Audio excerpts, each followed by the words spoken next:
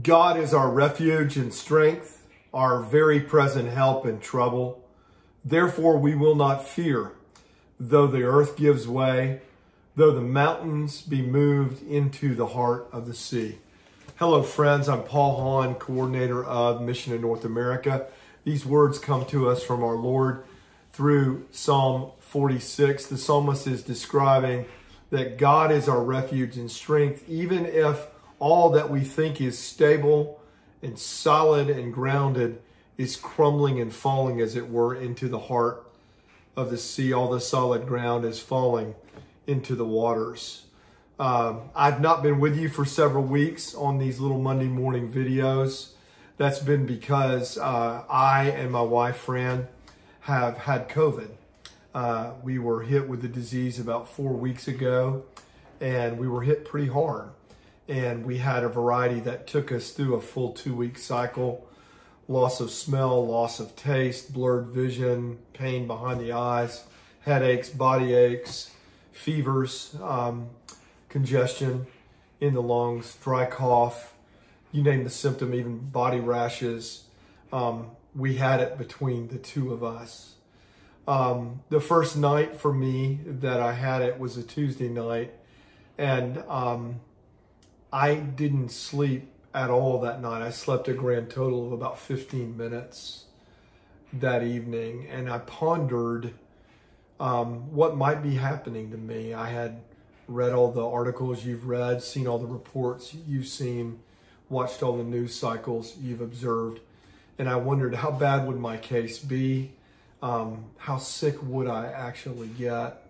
Would I end up with major lung issues and in a hospital and maybe headed toward intubation? Where was this all going? There was a strong sense as I could not sleep at all that night that everything that I knew and was confident in around me that was solid was falling into the heart of the sea. If you've had COVID, you know this. If you have loved ones or friends who have had it, you would know this that there's this strong component inside this disease of despair, of depression, of attacking you, not just physically, but emotionally, psychologically, even spiritually, as part of the reality of a fallen world touching us in every way as whole being people.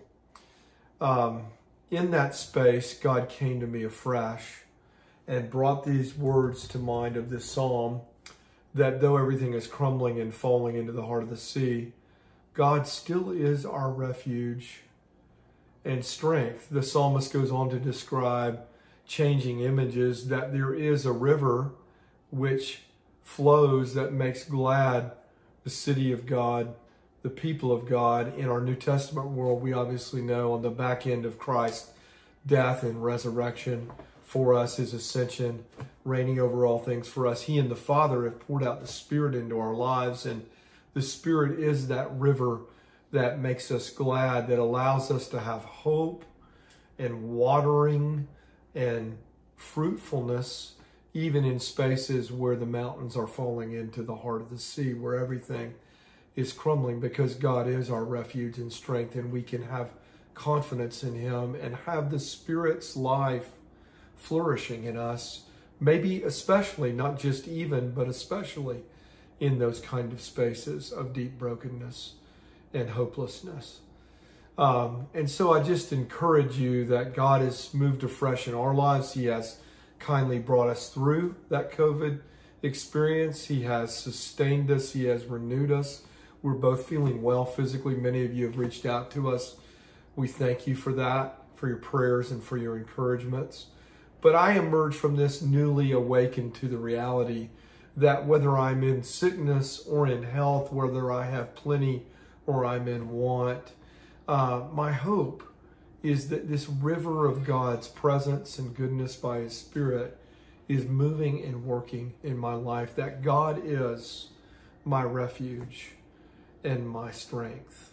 Church, may we come back to that so that we have something deep and lasting and full to share with the world around us that experiences upheaval physically, emotionally, socially, politically, spiritually.